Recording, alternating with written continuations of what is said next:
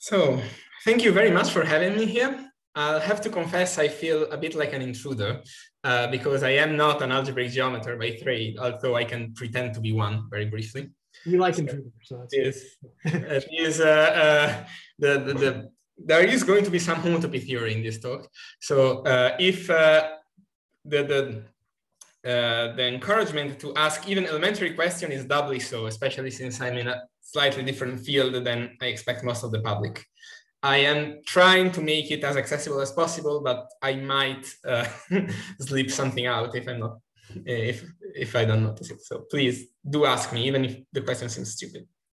So, okay, so this talk is about Hermitian K-theory. So Hermitian K-theory is uh, uh, I would say a cohomology theory on rings or more generally schemes or even more generally uh, the uh, that has a very long history. So I put here a few names of the people that have um, worked on it, starting from the prehistory with Witt, and then going on with Knebusch, Karoubi, Ranicki, Weiss, Williams, Walsh, Schlichting, Spitzweck, Lurie, Balmer, and I'm sure I missed a bunch of people. Um, so that's the first line.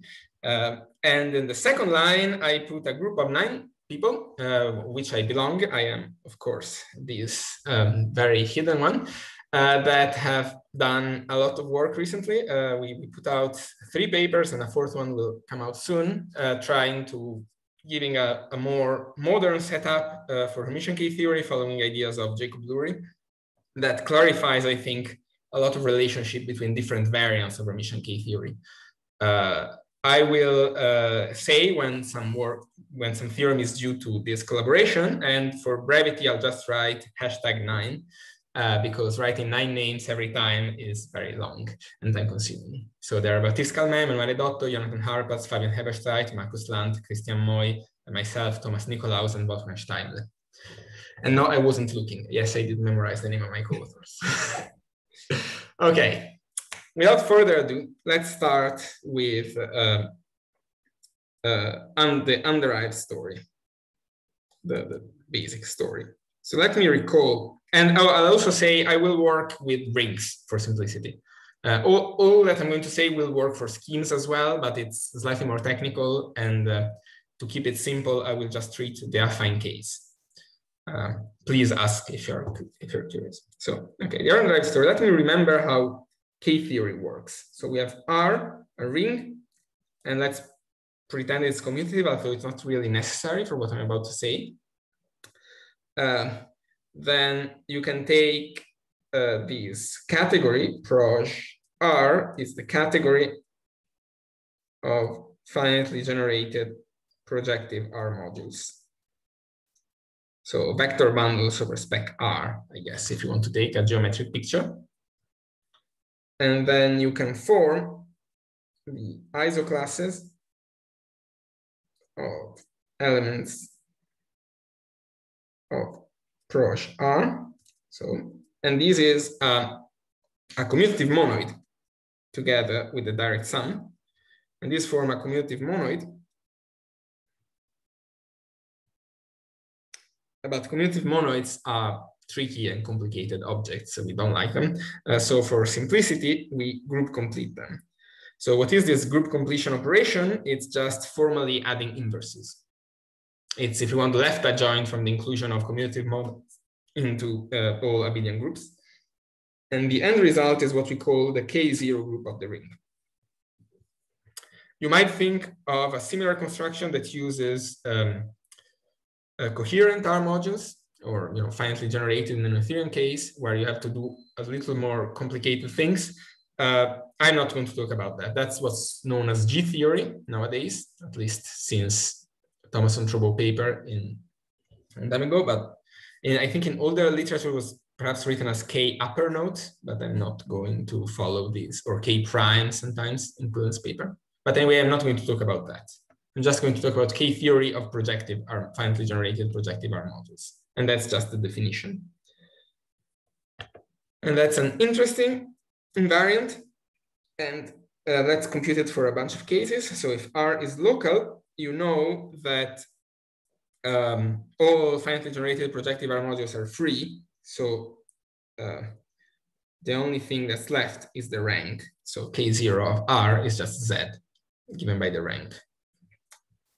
And if you have another example, if R is a Dedekind domain, there is a theorem that tells you that every projective R module is determined up to isomorphism by its rank and its determinant. By determinant, I mean its top exterior power. And this is reflected in the fact that this is indeed the direct sum of Z plus the Picard group of our ring.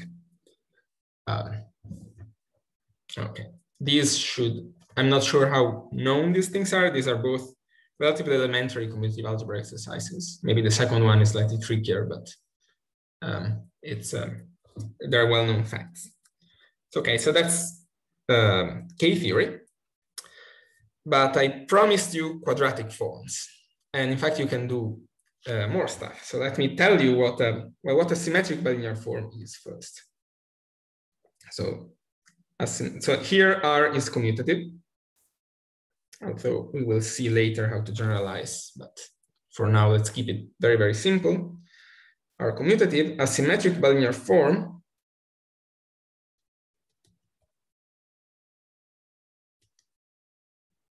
is a pair P comma uh, B, let's call it B, where P is a finitely generated projective R module, and B, well, I'm going to first write this. So it's an element of these fixed points on this Hom set, but concretely, it's a map P times P to R, which is R bilinear, and such that B of xy is equal to B of yx. That's the symmetry and we say that PB is unimodular.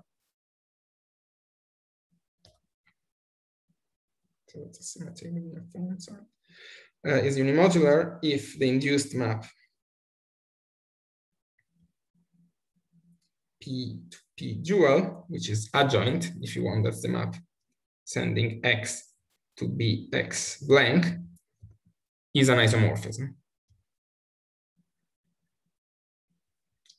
So the terminology arises from Z, uh, where unimodular form was one for which the matrix representing B had determinant plus or minus one. Uh, but we can adapt it more generally and say that the determinant of the matrix needs to be a unit. So it makes unimodular, I don't know. Uh, there are people objecting saying no unimodular should have determinant always plus or minus one, but that's the wrong definition and I'm not going to, to dwell on it any further. Uh, Okay, and also sometimes people call these non-degenerate, sometimes call these perfect pairings. There is a lot of terminology, different people mean different things with non-degenerate. I will stick with unimodular for, you know, for making sure that it's not ambiguous. Okay, and okay, an isomorphism of symmetric bilinear forms.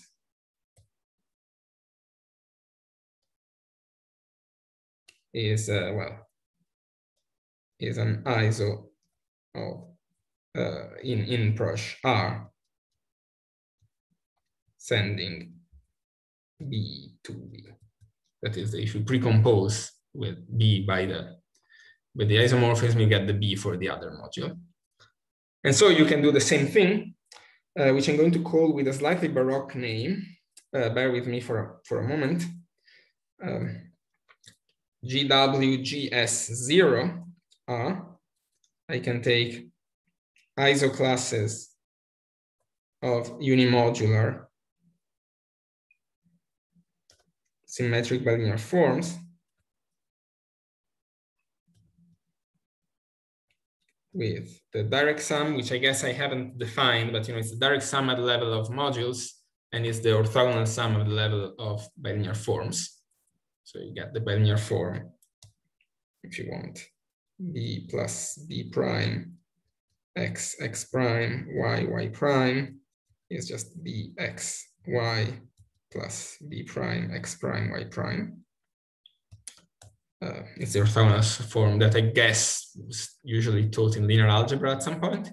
Not exactly sure. And then you, you, you group complete as before. And this actually is very important uh, because, for example, in the case of Z, classifying uh, unimodular symmetric bilinear forms up to isomorphy, uh, to isometry is uh, essentially impossible. It's, um, I think, what's called a wild classification problem. There is no, no set of invariants that can describe those things. But once you group complete, suddenly stuff become easy. Um, so I guess the flip side seems to be that I have no sense of how much damage group completion or I, I damage. You can you can actually, yeah. I mean, it depends what you mean by damage. There is one thing um, which I don't want to dwell too much, but you identifying metabolics with hyperbolics. Um, that's one thing you do. Uh, but there are also um, weird things. I mean, it, it, it is a destructive operation, I guess. It's not, uh, it's not, you don't preserve everything, but it has the advantage that we can actually, you know, say what the answer is instead of, you know, we are saying, I don't know, there are a countable set of isomorphism classes, which is, you know, not a very um, useful piece of information. So this is, okay, so let me give you some examples about this. So, okay. Oh, I forgot to give you an example of bilinear form. So if U is in R cross, this is the bilinear form R. If BU, BU is X comma Y, is just U X Y. That's a symmetric bilinear form. Ah. And it's unimodular exactly because U is invertible. So, okay, but why did I come up with this? Because, okay, one thing, it's the analog of um, what I, I was saying uh, for the local rings before. So if R is local, well, I cannot compute GW, GS anymore. Uh, by the way, GS stands for genuine symmetric and GW for growth Grothendieck-Witt, Growth Grothendieck-Witt, sorry. But I cannot compute this guy, but we know that this is generated by elements of the form U for U in R cross. And in fact, you can even write down the relations if you want. It's not that hard. It's something that already Witt did it in, back in the day. Um, unfortunately, the answer is not Z, of course, because we have a, a ton of possible choices of units. Although uh, I'll also say that, of course, U this depends on the, the, class of U modulo squares. So you do have some um, some control, but. And then do you have to subtract as well? So it sounds like you have to actually. Uh, it's generated as an abelian group, yeah. Yeah. So so so it isn't true that the before you group complete, it's not generated necessarily. So yeah, it's not true that so it, it is and it isn't. It is, if two is invertible, it is true that every symmetric bilinear form is diagonalizable uh, over a local ring. Uh, that is absolutely true. Um, but the two invertible in this case means the characteristic, the residue characteristic is not two. But if the residue characteristic is two, that is not true anymore. Uh, you do have, and that's exactly what you're losing actually. You're basically forcing everything to be diagonalizable. Ah, great, thanks. Um, that's, uh, but okay, that's okay. Uh, oh, sorry, so, a, a, vacuous question. Uh, why, why GS? What does that stand for? Oh yeah, sorry. GS stands for genuine symmetric. We will see several variants. And I would like to call it symmetric, but this conflicts with other terminology um, that I don't really don't want to conflict with it's essentially symmetric, but in a strict sense. You we will see later what the weaker sense is. Uh, there, uh, and, and, have, oh, I see. And that was genuine, genuine symmetric or generalized? Genuine symmetric. Genuine symmetric. Um, there are there are a, a, huge amount of. I mean, that the point that I'm going to make soon is that there are a huge amount of variants you can have of this thing and we will find a better way of systematizing them. Okay, uh, but okay, I haven't, ooh, it's, okay. Uh, let me give you a few more examples. So if F is a finite field, you have a complete description. Actually, this guy is determined completely by the rank and the determinant. So it's Z times Z mod 2, or more canonically, it's actually Z times F cross mod 2. By, by mod 2, I mean uh, modulo all the squares. Um, uh, and, you know, of course, if X is a finite field, F cross mod 2 is Z mod 2. Uh, exercise if you haven't seen it before, but I assume you have. Uh, uh, characteristic not two, excuse me, sorry. characteristic not two, yeah, thank you, sorry. Uh, the, the next example is indeed characteristic two. So F uh, perfect field of characteristic two, so in particular also a finite field, this guy is just determined by the rank uh, since, um, well, this follows from this since every class here is represented by a square. So it's equivalent to the class of one.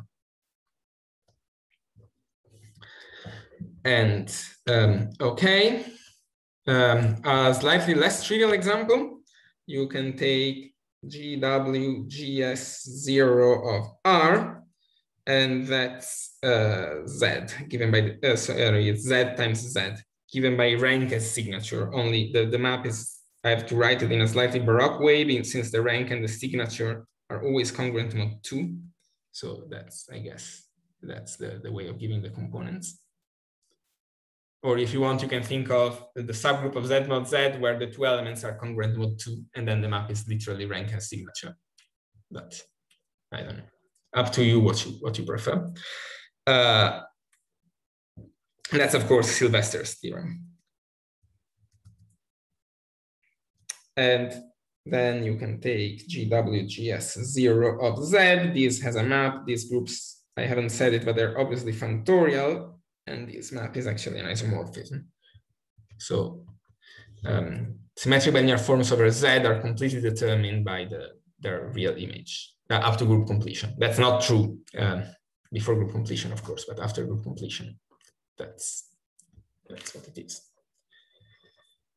Okay. Um, ooh, I forgot to do one thing. Sorry. Okay. Um, where were we? Yes.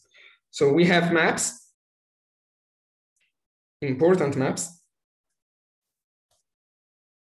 So we have a map GW0 GS to K0 that just forgets.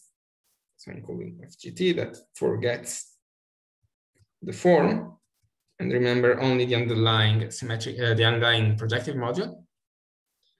And I also have an interesting map K0 to GW0GS, which is called hype, which sends P to P plus the dual of P together with the symmetric linear form that I'm going to impressionistically write 0, 1, 1, 0. Or precisely, this is B uh, x phi, x prime phi prime is um, phi x prime plus phi prime x. And that's the hyperbolic map. And moreover, we have a C2 action on K0, sending P to P dual. And these maps are C2 equivariants. These forgetful and hyperbolic maps are C2 equivariant when you give GW the trivial, the trivial action. Can you remind me what C2 was again? Uh, C2, sorry, C2 is the finite group of order two. Ah, oh, great. Okay, I know that group. Uh, we, we, I am trying in this setting. I try to write Z two when I think of the ring, and C2 when I think of the group, since they are, uh, of course, they're canonically unique, but uh, uh it's. Uh, yeah, no, I'm happy. um, okay, and this is C2 equivariant. Of course, these maps are so the forgetful is. Uh, well, they're saying if you have a unimodular linear form, P is isomorphic to the P dual, because you know you have a, you have a unimodular linear form, and vice versa. The hyperbolic of p and p dual are the same because I'm just swapping the signs. Okay, and the question one is what's the difference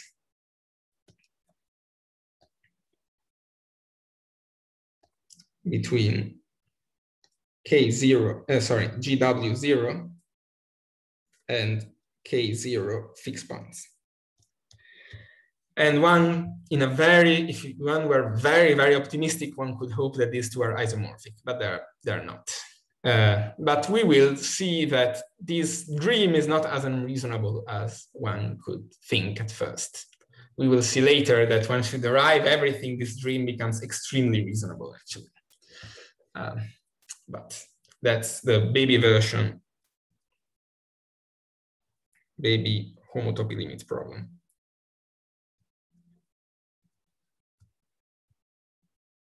So there is this, this map, for get map. Yeah, how far this map is from an isomorphism. And at this point, the fact that it's called baby or homotopy or limit is not clear. Problem. Makes. I mean, it's a, there is no homotopy limit. I'm calling baby because it's uh, it's uh, because there is nothing derived. Uh, it's it's just the most elementary thing you can write. And of course, the answer is no, that they're not the same at all.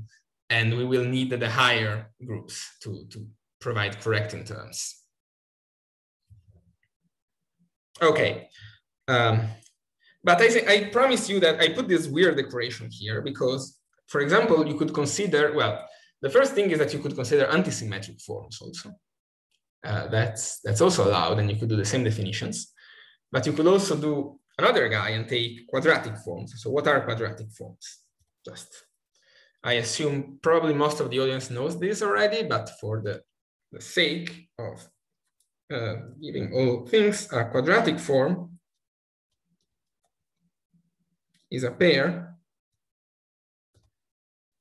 PQ, where P is in proj R, and Q is a map from P to R, satisfying these two uh, weird properties, which essentially are formal, formulating that Q is given by a homogeneous polynomial of degree two. But let me write q of rx is r squared q of x.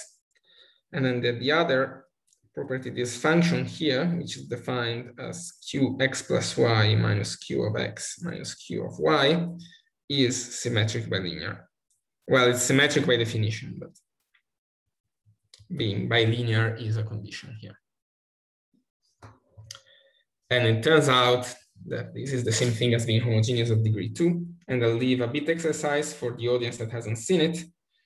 Uh, quadratic forms um, P are in one-to-one -one correspondence with something very similar to what symmetric bilinear forms were. Only, remember, for symmetric bilinear forms, we need to take the fixed points. Here, instead, we take the quotient. And the map here is sending b to the function x goes to bx comma x.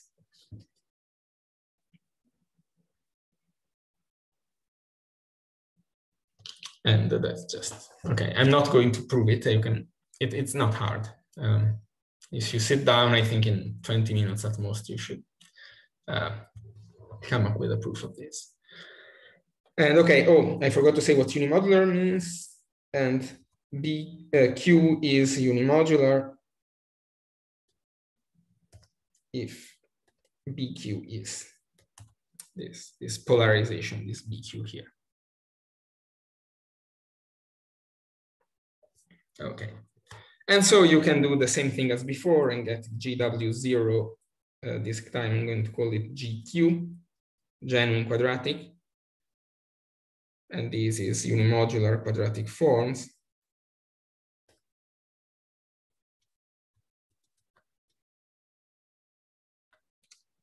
Group completed. Uh, we with again with the direct sum. And then you can do, there is a version of antisymmetric, as I said. Antisymmetric. Hermitian, if R has an involution. And in fact, there is also a notion of minus one quadratic, uh, which is uh, the equivalent of quadratic for antisymmetric. I'm not going to define it, slightly Um, it's essentially an alternating form together with a quadratic refinement mod two, but okay. Um, and then you can do, as I said, alternating forms, even forms. There are all sorts of variants. And so at some point, uh, one would like to sit down and try to come up with, okay, but there must be a single way of, of talking about these things without having to, to make huge lists in all the theorems. And that's actually the definition I'm about to give. But okay, before I give this definition, are there questions? No. Okay. So I have to say there are there have been several attempts in the past to generalize this, this, these notions to find a unique language. And I think that this one is fundamentally equivalent to something that Wall did back in the day. And it's very, and it's due essentially to Jacob Lurie.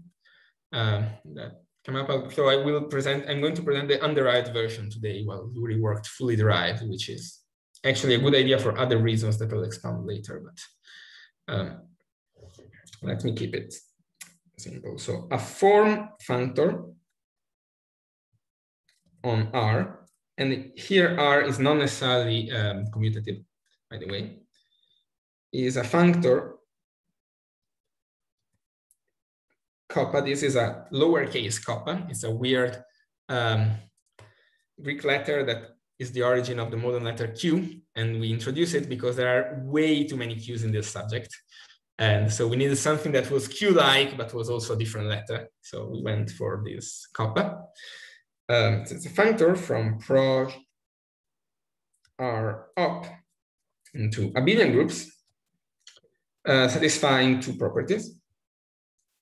Uh, property one is that kappa of zero is zero, and property two is, okay, if you take kappa of p plus q, we know that it decomposes canonically as kappa of p plus kappa of q plus uh, b kappa of p comma q. That's just because you have maps like these inclusions and projections.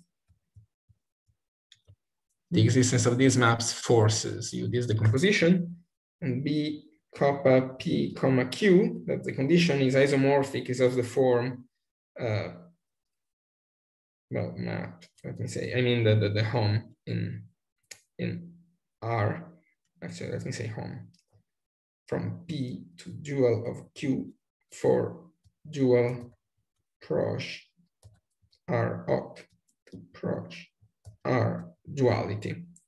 And here I am smuggling something under the rug uh, because this um, B kappa PQ comes with a canonical symmetry. So you have a canonical, for example, equivalence B kappa B PQ and BQP, of course, coming from the symmetry of the direct sum. And this induces actually a natural transformation eta from one to DD up. And I am asking not only that this functor is representable by some dq, but also that this natural transformation is an isomorphism. That's the condition of being a duality. But the point is that this duality is completely determined. So this is a condition. This is not a structure I'm putting on kappa. This is a condition. The condition is this functor is representable and the induced natural transformation you get by abstract nonsense is uh, an isomorphism. Okay. So that's what I mean. It's, it's given by a duality. Uh, okay, and what? How should you think of this? You should think of this kappa as telling you which kind of forms you can put on your uh, on your projective module. So, for example, you can take kappa p to be the abelian group of uh, symmetric bilinear forms on p of quadratic forms, of antisymmetric forms, uh, bilinear forms, etc. And all those type of things to give examples of these. And one important thing, is these two give the same duality. It's just a standard duality. But for example, antisymmetric give a different duality with the same functor, P goes to P dual, but a different double dual identification. P goes to P dual dual. This kind is the minus one. That's where the sign of the of the antisymmetric is coming from. Ah, so something subtle is happening right now. Can you would you mind saying that again? I think when you started, I didn't realize that subtlety was coming. So. Uh, the, the point is that the duality, so this guy is producing a duality, which is not just a functor, but a functor equipped with a natural transformation like this. And if you take symmetric bilinear forms and quadratic forms, you get the same duality, even through it. If you do antisymmetric bilinear forms or alternating or minus one quadratic or whatever, you get a different duality, which has the same functor, but the double dual identification has a sign. Okay, that's great. Which is uh, where the antisymmetric is, is hidden. You will think, oh, but it's the same dual, it's the same functor. That how can they be different?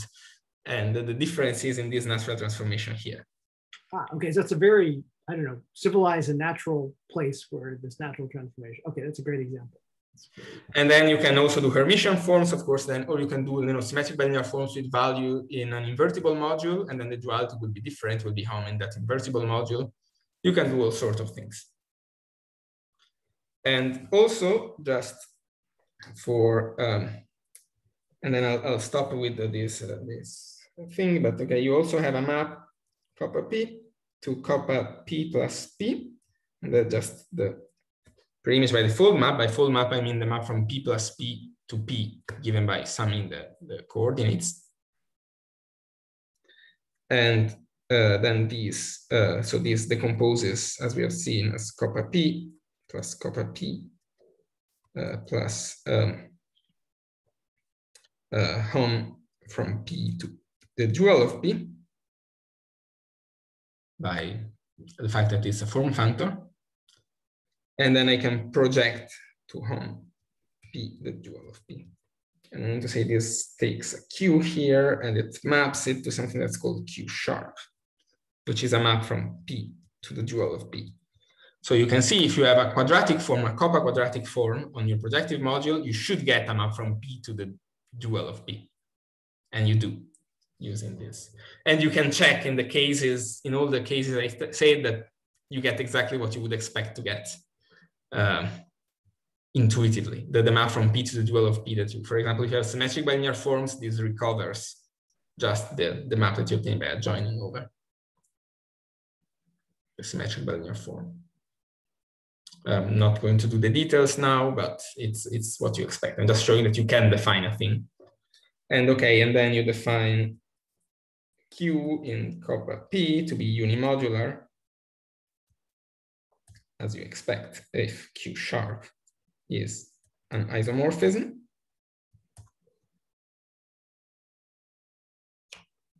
If the map to the double dual, to the dual is an isomorphism.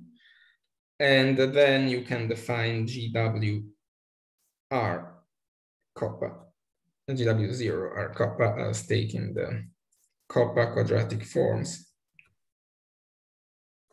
and group complete and this definition just works. And this is not the most general definition we can make, uh, but let me keep it for now. So, okay, I think I'll uh, stop here with the, the basic algebra. Um, uh, maybe I, let me actually give you an, uh, just an example.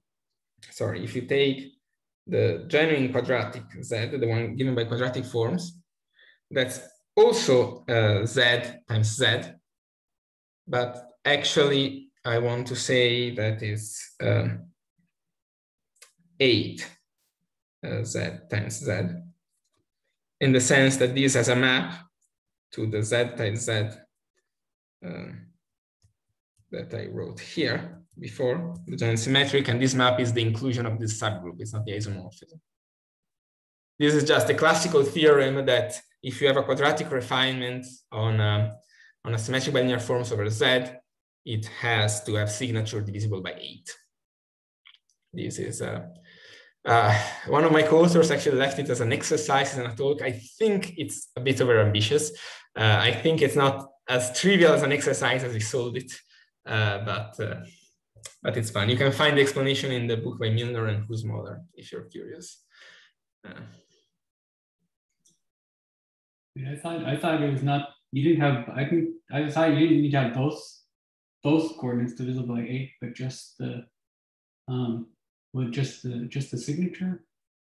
Um, just this, yeah, just the signature is divisible by eight. Actually, you're right. Um, the question is, how do I? Don't worry about it. Don't worry about it. Sorry. Uh, okay, it's the subgroup. Okay, it's the subgroup corresponding to signature congruent to zero mod eight.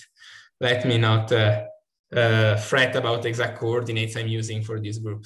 Uh, but just to say that they're not everything. And even when they're abstract isomorphic as a group, it doesn't mean that they're the same group, right? Because the canonical comparison map might not be an isomorphism. And this is actually important. Okay. Um, other questions?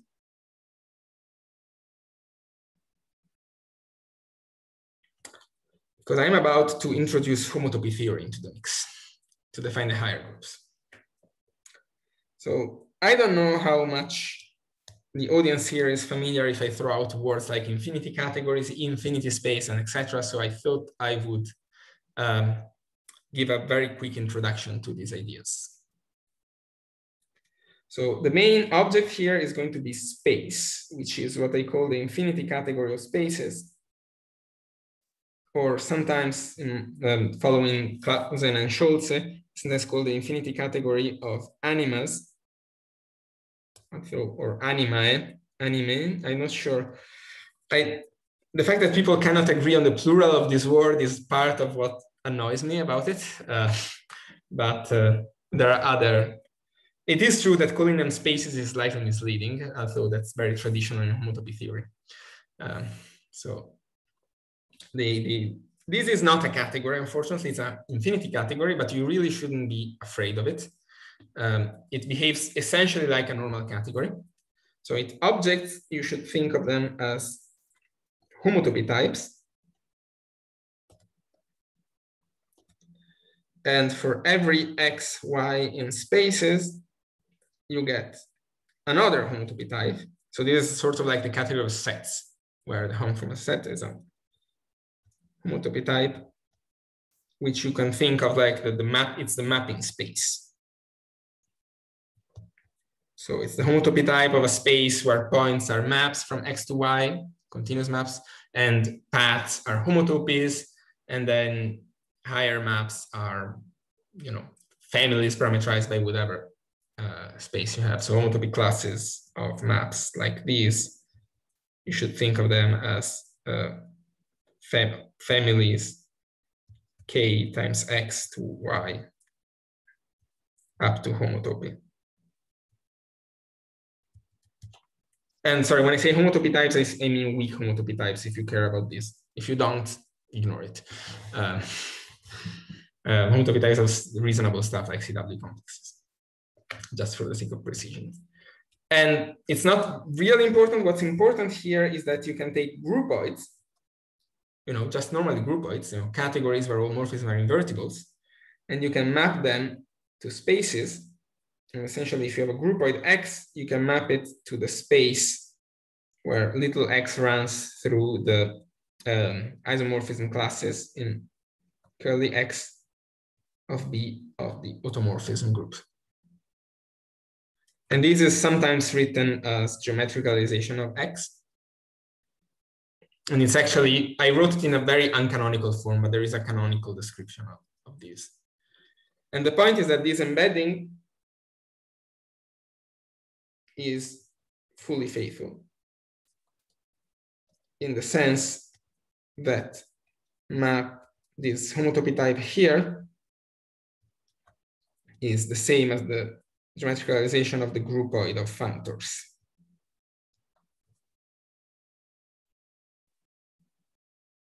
So um, it's you can identify groupoids with one, one types. The image is called one types. So the, the essential image are homotopy types x with pi i x is zero for all i greater than one. What are called one types. You call it, it's like one hyphen type like that? That's what One hyphen types. Um, but okay, that's, I mean, as you can imagine, you know, for, if you have a groupoid, you can recover the fundamental groupoid. In fact, the fundamental groupoid is the left adjoint of this map. So I think that remembers only pi zero and pi one. Um, okay. Okay, why uh, did I say that? Oh yeah, because I want to say, so in space, and okay, I don't want to give the details, but there is a good notion of commutative monoids. And uh, abelian groups, uh, objects, which are called E infinity spaces and E infinity groups, respectively. And okay, uh, they have also other names, but let me not bombard you with terminology. I'll use these short ones. And uh, the inclusion E infinity space uh, groups inside E infinity spaces has a left adjoint as before, which is go I'm going to write as, you know, X goes to X group complete. Exactly the same story as in sets. So to make sure I, I, I understand, there's like a, a, there's sets are to commutative monoids are to abelian groups as spaces are to E infinity, spaces are to E infinity groups. Yes. That's exactly, the, the, the, picture is exactly the same. In fact, sets also sits fully faithful inside spaces because it sits fully faithful inside monoid, uh, groupoids. And the, the infinity spaces that are discrete are exactly the commutative monoids, and the infinity groups that are discrete are exactly the abelian groups. And okay. And, and I'm guessing probably that metaphor is not enough to let me successfully guess the definition of the infinity space of the infinity group. There's like some. Uh, probably not, although after a few attempts you might. Uh, but if you want, these are also sometimes called gamma spaces following Segal. I think that was the earliest definition of something that uh, what's like that. The, the, the, the definition, the name infinity spaces comes from the work of Peter May, uh, which gave a different model for them. Although I prefer Segal's model personally, I think it's it's uh, cleaner. Um, uh, but I mean, I could write it down for you. I mean, it's it's a one-line definition, but I don't. That's okay. Yeah, that's great. The, the what the point is the point is that this functor from groupoid to spaces uh, respects this structure in the sense that it sends uh, symmetric monoidal groupoids to infinity spaces. So in fact, the, a structure of an infinity space on a groupoid is exactly the same thing as a symmetric monoidal structure. It's exactly the same thing. Um, you can, for which you can see that the definition of infinity space is slightly more subtle, perhaps, than you would expect, because the definition of symmetric monoidal structure is slightly more subtle. Uh, but there is a nice way found by Segal to package these things, which is also, by the way, the only definition of symmetric monoidal structure on a category that I can remember, uh, because the classical one has all these weird axioms left and right that I can never uh, remember, while the, the Segal model is at least a, a one line, as I said. So at least it's two lines, perhaps. But okay. Uh, okay, but okay, why, why did I do this categorical preliminaries? Is because now I can do what homotopy theories do and don't forget to isoclasses. So I can take, I can define the K-theory space by taking the full groupoids. So this is the groupoid of projective R modules. This little iota there is just um, uh, saying keep take the maximal subgroupoid. So forget all morphisms that are not invertible. And you group complete it in the infinity space sense. And you know, if you want, to put a, a bar to remember. But since the embedding is fully faithful, I, I and many other people tend not to distinguish between the groupoid and the, the space, the, the homotopy type, because they're, they're literally the same information. Okay, new group complete this. So that's a so from my homotopy theorist perspective, this is a much more natural definition because I'm not doing the violent operation of collapsing the isomorphism classes and forgetting things. And at the same thing, I can take GW R kappa. I can take the, the groupoid, I didn't give a name to this thing, so I'll just write in words of unimodular kappa quadratic forms and group complete. And I have to say a big warning. This operation here preserves discrete objects. So groupoids, so spaces that are have no homotopy groups except from pi nodes, but not one types. So if you start with something that's come from a groupoid, it's not necessarily a groupoid anymore, and that's the whole point. These guys indeed have a lot of homotopy groups. Oh boy, they do they. Uh, they have very, very much homotopy, very, very many homotopy groups. Okay, so that was a lot of homotopy theory very, very quickly. So uh, maybe let me let me ask about the last thing just to make sure it's settled in my mind. So you have so you have this group completion, which is this uh, E infinity, uh, the analog of group completion, and it and as soon as you have isomor as soon as you have uh, isotropy, non-trivial, as soon as you have automorphisms, it does interesting things, and then suddenly it becomes Does terrible things. Yeah, suddenly it becomes uncomputable the results basically. I mean, you, I'm saying uncomputable, but that's unfair actually. You can give explicit geometric models for what this operation does. The question is just computing the homotopy groups of this thing is very, very hard. In fact, the original definition was one of these models using Quillen's plus construction. Um, you can actually write down a space, like an explicit cell structure of the thing. Unfortunately, as you've probably known if you've ever taken a homotopy uh, theory class, computing the homotopy groups of a space for which you know a cell structure, even if you know everything about cell structure, that cell structure is still kind of tricky. And by kind of tricky, I think it's basically an open problem and proven to be impossible to do. So, okay. Um, and just by functoriality,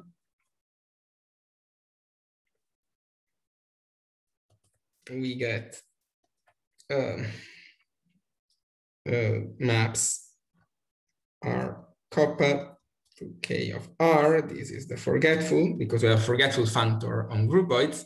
And we have an hyperbolic functor on groupoids as well. And so we get this. And also a C2 action. C2 acting on K, R, and then I remember the kappa here because the C2 action depends on the duality, which remember was part of the data. Now, in this case, the action actually depends only on the functor of the duality. It doesn't depend on, well, okay, it depends on what you mean by C2 action let me say this way, the action on homotopy groups depend on, depends only on the functor of D. Uh, so the full action on the space depends also on the identification with the double dual. So the, the action is not completely determined by what it does on homotopy groups. There is additional stuff. Of course, this depends only on the dual. It doesn't depend for the full kappa, but for limiting the proliferation of symbols, I'll just keep the kappa here and nothing more. And so, um, oh, I think I am going to be quickly almost out of time. Actually, how much time do I have left? So I feel like the organizer's allowed to say you started a few minutes late. Yeah. So yeah. So you did start a few minutes late. So maybe I don't know. Maybe it's ten minutes good or, or how? Ten minutes. Okay. Yeah. So the question is okay. What's so we have a map from uh, R kappa to K R kappa, and this is homotopy fixed points, this is just uh, fixed points, the, the notion of fixed points in space or infinity groups, whatever, it doesn't matter. As fixed points in groups and in, in, in sets are the same, that's the same thing for spaces and the infinity groups. And by, by fixed points, I mean that the limit over the diagram b from the groupoid with one object and C2 automorphism to my category. So that's the homotopy limit problem. So that's an isomorphism. And I'll add a small wrinkle here after group completion, after two completion. So I'm not asking, uh, I'm not going to ask the behavior on homotopy groups. On first approximation, you can think after two completing on homotopy groups. That's not literally true, but there is a notion of two completion for infinity groups in the same way in which there is from abelian groups. And uh, and it's, it's also written by the same format, so the limit of x mod 2 to the n, only you have to redefine what lim and mod is. And corresponds to the derived to completion in the case of classical abelian groups, if you've ever seen that. So, so this in this situation, so you're saying that there's some reasons for this to be sort of maybe for experts obviously wrong if you did not to complete. And then this gets uh, well no that's not true. That's obviously wrong. The point is that you can also you can immediately understand what happens after you invert two. Ah okay. And it's and there are obvious counterexamples. The classical one being so it, it, you have a, precisely you have a, this is true after inverting two if and only if R has no real residue fields, no residue fields that can be ordered. Um, it's uh, maybe obvious is a big word, but you know you, you can completely understand what's going on there, and it's uh, it's not super interesting. I mean, it is interesting, but it's uh, it's not very deep. And this turns out to be, this was sort of the, the version. So this is the homotopy limit problem. Was proposed originally by Thomason.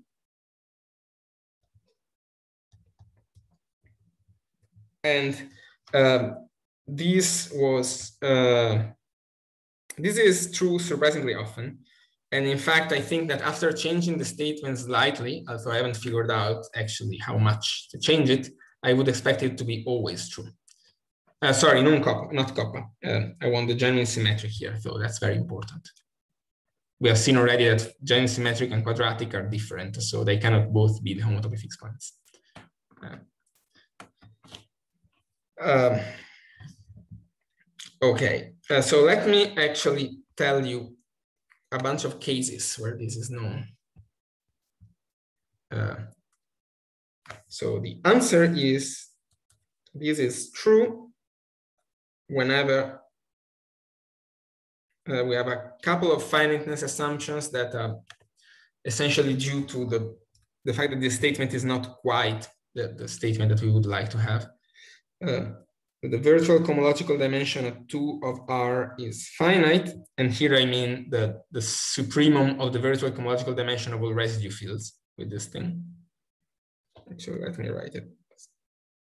Supremum of the virtu of the cohomological dimension of two of k p minus one for p in spec r. It's finite. The dimension of r is finite, and one half is in r. So this is a theorem by okay Hu Kriz Ormsby in the case R field, and then generalized based on that case uh, by um, Karoubi, Schlichting, and Østvær.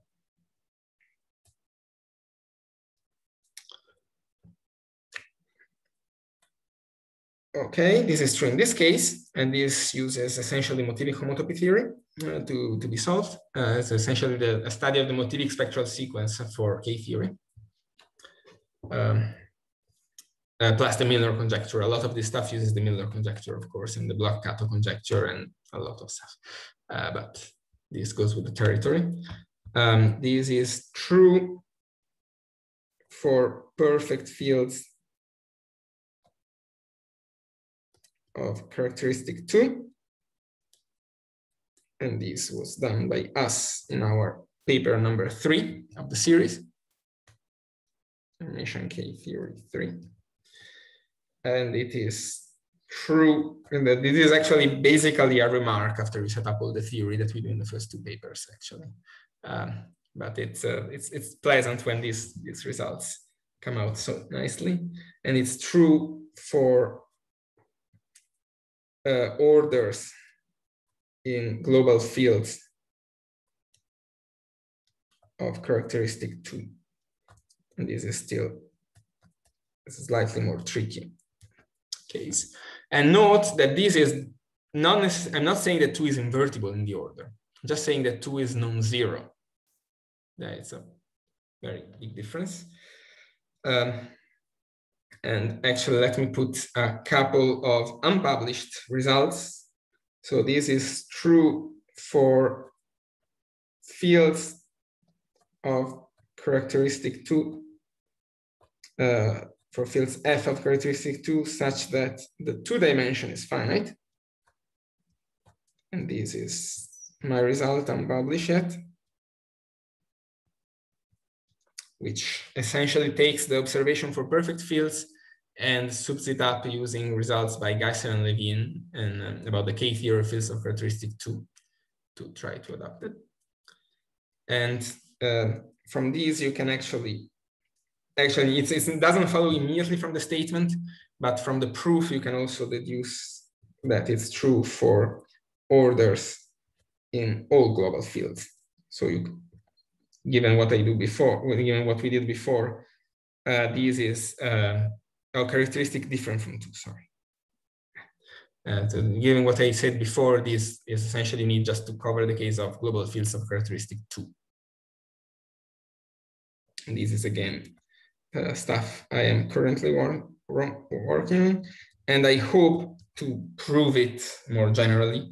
Uh, the problem is the jump from uh, fields to Henselian local rings uh, which requires some more refined argument. You need to prove that two things are equal. Uh, and when two is invertible, both things are zero for rather trivial reasons. Uh, so they're in particular equal. But when two is, is it's not invertible, they are, or if you want the Henselian local ring is dyadic, the, the two things are non-zero, although they are equal in all the cases I could, I could check. So I have hope that um, I can. So, so it's uh, so these so so okay. So the hard part is getting from field to Henselian local. That's like an interesting. That's uh... well. The point is that when two is invertible, a GW satisfy rigidity. So GW of an Henselian local ring is equivalent. What does rigidity mean in that? Yeah, rigidity means in the sense of Gabber rigidity. So if R is a non-dyadic Henselian local ring, GW and um, and it, it doesn't matter actually the decoration here. GWR mapping to GW of the residue field is an isomorphism. Okay, great. And the same thing is true for, well, okay. Uh, let me to complete just for. So it feels like a deformation-esque, a deformation theory-esque problem. So I mean, this is a classical theorem actually by Suslin and this is follows but work by Balmer and Knebusch. Well, in the wrong in the wrong order actually. Knebusch, the Knebusch theorem is much older than what Balmer did, but okay. Uh, so when when non-dyadic, and but this is false actually, and the, the point is that there is a, a there is a third term that measures the failure of rigidity and it's it's what's called topological cyclic homology and, and real topological cyclic homology, which is trivially true when two is invertible. Uh, because when two is invertible, you have a, a z1 over 2 module, and then you to complete a z1 over 2 module, and that gets zero. Uh, but when two is not invertible, you have to compute it. And that's actually what I am working on right now. And okay, I had other stuff about the connection with L theory, but I don't think I'll have the time to talk about them. Uh, but okay, I'll just say another thing you can assemble a bunch of other assemble other unpublished results by various combinations even before the end of the sentence, this sounds non-ideal. of nine. I mean, this is this is literally stuff that has been that is happening in the last couple of months. So oh, okay. Un- uh, unpublished just because it's new, not because it's. Uh, it's because it's new. Yeah, yeah. When I say unpublished, even these, I mean, the proof of these, I got it like I think two months ago. Right. Uh, and I mean, I would have published already if, but I hope to to get uh, to get more out of it before making it a paper um, a virus combination of nine, and also I should also mention Jay Shah, actually, that has done some work on this. Um, to, uh, and uh, sorry, Irakli Patchkoria, and uh, um, uh, am I saying no? Yeah, and Irakli Patchkoria and etc. That did some computations in uh, in TCR in this uh, weird obstruction group that I hinted at to get more cases in particular uh, perfect F2 algebras is the one that I'm willing to vouch for, that I, I think I understand every single step and that it's correct. Uh, so I am kind of believing that this is going to be always true, give or take some completion issues. This, finiteness condition here actually, uh, uh, and here, and also this virtual cohomological dimension and dimension are due to essentially the fact that you need an additional completion, an I-adic completion, and I is the augmentation ideal that is hard to, to build in. Uh, in fact, I would really like to have a better understanding of this uh, I-adic completion in a way that allowed me to run descent arguments to go from the local to the global case. That's, but okay. And also I have to say you can use, use these results to, and this is very surprising, to completely compute GW, uh, GS, F for F, a field of characteristic two. Uh, and in fact, let me. And that's because you know the K side. Uh, and also because the K side is particularly easy. Yeah. Oh, yeah, and uh, and in fact, let me say exactly what this thing is. F is zero if n is odd. Uh, and uh, k so this is in terms of k n f mod fiber over i f n, where this is the augmentation at the kernel from GWF to KF. It's uh, this augmentation ideal. And that's n is the, the power of the ideal in the, in the, in the ring. So I mean, maybe compute is a, is a hard, is, is a big word, but you know, it's computing in terms of K theory and, uh, and, and, and zero degree information. So I think it's, it's, a fa it's fair to call it computation. Uh, this was actually very surprising because these things are usually never possible to compute. Uh, but it turns out that everything uh, becomes easier. And I'm currently trying to find out if I can repeat the miracle for fields of characteristic different from two. Um, and also note that here I have no finiteness assumptions because it turns out that that small completion issue is actually not that important if you want to compute these things. Um, um, that, that, it's uh, it's sort of built in the fact that this guy is not the same thing as its own I completion. Uh, but that's okay. And I think, sorry, what's that question? You said, you said it's not the same thing. It's, it's not I, I mean, the finiteness condition that I put there was exactly to ensure that GW0 was I complete. That's equivalent to GW0 being I complete. In fact, what I prove precisely is that in that case, the homotopy groups of this guy are the I completion of the homotopy groups of this guy.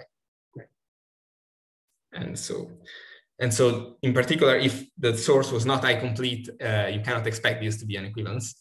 Uh, but uh, but that's sort of a, for me, it's a problem in the statement. You should bake in the statement. A completion. I haven't found an elegant way of doing it yet. And I think I am out of time now, so I'll not talk about L theory. Great. So let's uh, we can we can uh, unmute ourselves and thanks and thank Denis for at least for me a super enlightening talk. Now, uh, great. So questions. Uh, I've got some, but I'll, uh, I should let other people ask too. So I was going to say, I mean, uh, of course, you got lots of uh, computations. I guess sort of interesting ones are, or somewhat interesting, or mixed characteristic ones, like say the integers. Do you want to say anything about the integers? Yeah, well, one thing one thing we did actually in the in this paper with nine authors in paper three still we did we actually computed all uh, all, all GW groups of the integers conditional to the Vandiver conjecture, of course, uh, which is uh, the the bane that we always have to, to think. Although it is unconditional to the Vandiver conjecture up to degree twenty thousand, so that's more of a coincidence than than than actual. Uh, actually, but it's cool to say, actually, we compute the first 20,000 groups of the, the integers. That's just the Vandiver conjecture is not relevant. I mean, the unknown cases of the Vandiver conjecture are not relevant up to degree 20,000. So, uh, um, so you, you can actually use these techniques to do a lot more. You can compute the, the L groups that I haven't had time to define, but they are sort of the, the L groups are sort of the quotient you get of the hyperbolic map. Um, so you take this map from the, the orbits to GW, you, you, get the quotient is something that's called L. And we can actually compute the L groups for all Dedekind domains uh, where the fraction field is characteristic not two. And I have work in progress with Markus Land to, to actually uh, fix uh, the, the, this missing characteristic two case. And actually, sorry, we have all characteristic for the symmetric, we have characteristic not two for the quadratic. Um, um, but we are it's kind of weird because they're not finally generating the quadratic case. It's it's it's what it is. We are we are working on it. More questions? Arnav, I don't know if you want to ask the uh, geometric topology question. If that's oh, I was just curious. So, so you mentioned you can do some L theory computations. Are, are these the sorts of computations that are useful in geometric topology and surgery theory? Or is it more like number yes theory? No. There, there, are, there are all sorts. Uh, there are definitely, so among among uh, the, the nine authors, you might notice that there are at least two that are working on surgery theory. So these are Fabian Hebestreit and Wolfgang Steimle. Uh, and they are definitely interested in that aspect. Uh, I am kind of not an expert of it, but you can do some interesting. For example, you can recover a bunch of classical results. Of course, that's less that's less fun but they also, you know, have some work in progress for new new stuff. That, uh, and even even so, we have a better understanding of the homotopy type of the L uh, theory spectrum of the integers, uh, which is, of course, the L groups are classical and well known since at least the 80s, probably earlier. Uh, but it's still useful to know uh, the more information on the K invariants and on the spectrum. And they, they have, I think, uh, Fabian Hebestreit, Thomas Nikolaus, and I think Markus Land have a paper about it. Uh, I'm just curious, useful for what? Uh, I mean, the point is that you can, if you are interested in studying in surgery theory, you're interested in essentially the homotopy type of this cobordism category. Right. And these actually, uh, sorry, cobordism category D. And this has a map to what we call the algebraic cobordism category. Um, let's say Z for, I mean, you can do fancier things, as you know, you can do um, group rings of the pi one, but let me do that. And this turns out to be exactly omega, uh, it's plus or minus one, plus one of GW uh, S uh, of Z, or whatever. You can, you can put any ring here, actually, in this. And this S is the S that I haven't defined today, sorry, but it's the one that's more relevant for surgery theory. Mm-hmm. Uh, yeah. Okay. Uh, and uh, well, then you can ask, okay, what's the fiber of this map? Right. And if you understand the fiber of this map, suddenly you know that understanding the homotopy type of these is more helpful than just knowing the homotopy groups. Yeah, yeah, yeah. good. Thank you. Cool. What, uh, so in, in your, um, so in the series of statements of cases where it's known, I, I so presume, uh, yeah, so in the method of proof, from things you said, it sounded like there are sort of several sort of chunks that are, there's several steps that are easier or harder in different situations. That, that uh, like these are not seven or eight completely independent proofs. That is like, I don't know, going from the, the residue field to the strictly Henselian, going from strictly Henselian to the full ring. What are the, what, uh, what are the big? So roughly speaking, the case of field, so homotopy limit problems, if you have the homotopy limit problem, and actually that's the reason why I like the homotopy limit problem, because you really need to use everything to solve it, uh, which is, to me at least, is the, the marking of a good problem to try to, to attack. Uh, so for the homotopy limit problem, in the case of fields, essentially it's done via motivic methods. So uh, uh um, give or take an, uh, a careful study of the motivic spectral sequence for K-theory. And so essentially Bloch-Kato conjecture and, and its friends like Geisser-Levine and um, uh, Milnor conjecture for quadratic forms and etc. Uh, then you want to go from fields to um, Henselian local rings. So you want to, to spread it out a little bit. And then uh, yeah, the, the technique you have to use is what I call like trace methods. Uh, which is that they're trivial in the case when two is invertible, but it's essentially, well, for those of you that are curious, it's, and this is the case, uh, I'm going to write a bunch of GWQ, GWGS of R is the geometric fixed points of this TCR spectrum that time. Uh, there is a fiber sequence like that, and this is actually should it's still unpublished. There is it was announced just recently at a conference a couple of weeks ago by um, Harpaz, uh, Nikolaus, and Shah. And then you can try to, to do computations of these that have been done. These have been studied a lot by Dr. Uh, um, Kristian Moi, and actually I should also mention Sune Precht, although I, I, think recently he hasn't worked a lot on this, uh, but he did some work. Um, so that's another ingredient you use uh, this, this, spectrum that seems, sounds mysterious, but it's actually um, uh, uh, more accessible. And in fact, in the case where you don't have that real numbers put there, you have just DC has been studied by uh, uh Scholze and Bhatt and a lot of other people using uh, Matthew Morrow also using uh, perfectoid methods. And my current hope is actually to use perfectoid methods in this situation to try to to to uh, to, to, bridge this, uh, sorry, what did they put here? Yeah. Uh, why did they put this? Oh, okay, because this guy does satisfy rigidity. Sorry, that's the, the, the point. The quadratic satisfies rigidity, uh, which is, I guess, still unpublished in the most general case. I thought we have a very important special case in paper three. Um, and uh, okay, and so use trace methods, and then you can, I hope this is a hope more than a size, more a, a path than, than a proof plus perfectoid methods. So you can see that already there are a lot of stuff showing up. And then you have, you need from Henselian local to uh, global, you need to run descent arguments. And these uses, well, stuff that is done in nine, and also in a forthcoming paper by, oh, sorry, Calmès, Harpaz, and myself, where we, we prove Nisnevich descent and, and uh, A1 invariance and what, what not for these things when two is not invertible. And I actually should probably put Schlichting here for the, the case when two is invertible. And so that's um, um, and I know that that um, that is here present, he has also done work in, in, in the study of uh, the, the, the, motivic properties of GW. Uh, but we won't use that particular result.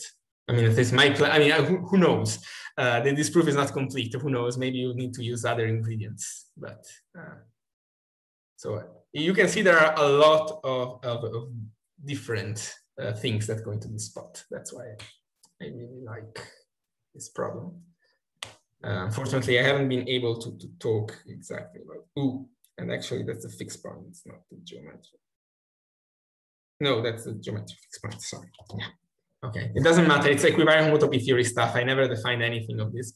Uh, and actually, no, that, that's that what I wrote is correct. Actually.